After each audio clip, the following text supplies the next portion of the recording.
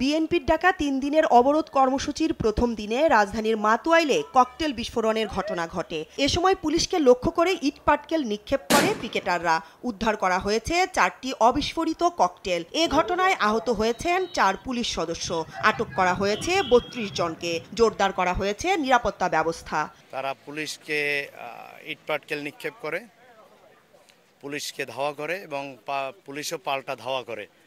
তো তৎপরিপ্রেক্ষিতে পুলিশের কয়েকজন সদস্য আহত হয় এবং পুলিশও ওই ঘটনাস্থল থেকে বত্রিশ জনকে আটক করতে সক্ষম হয়েছে।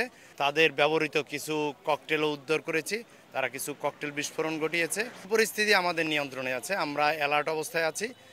এদিকে রাজধানীর মিরপুরে লাঠিসোঁটা ও দেশীয় অস্ত্র নিয়ে মিছিল করে বিএনপি নেতাকর্মীরা। এ সময় আওয়ামী লীগের সঙ্গে সংঘর্ষে জড়ায় বিএনপির কর্মী সমর্থকরা। শুধু মিরপুরে তা নয়, সারা বাংলাদেশের গার্মেন্টস শ্রমিকদের একটি বেতনের বৃদ্ধির একটা বিষয়, একটা বোধহয় আগামীকাল তাদের একটা বোর্ড বসবে এরকম একটা বিষয় আছে।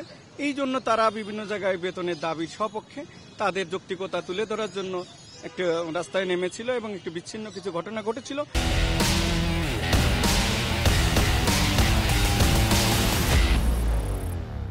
নয়াপল্টনেও অবরোধকে কেন্দ্র করে মিছিল করেছে গণতন্ত্র মঞ্চ।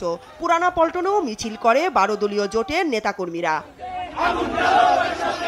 রাজধানীর বিভিন্ন স্থানে এমন সহিংসতার কারণে সকালে যান চলাচল স্বাভাবিক থাকলেও বেলা বাড়ার সঙ্গে সঙ্গে যানবাহনের চাপও কমে যায়। তবে নিরবিচ্ছিন্ন আছে রেল যোগাযোগ।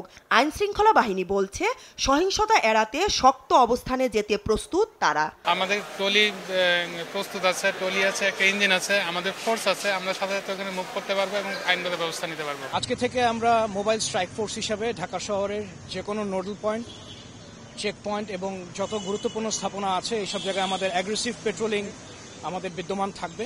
যে কোনো নাশকতামূলক পরিস্থিতি মোকাবেলার জন্য সদা প্রস্তুত। কেউ নাশকতার চেষ্টা করলে ছাড় দেয়া হবে না বলেও হুঁশিয়ারি দেয় পুলিশ। আজকে সার্বিক পরিস্থিতি অত্যন্ত ভালো। আপনারা সবাই দেখতে পাচ্ছেন যে যে অবরোধ ডাকা হয়েছে সেই অবরোধে মানুষ খুব একটা সাড়া দিয়েছে বলে আমার মনে হয় না।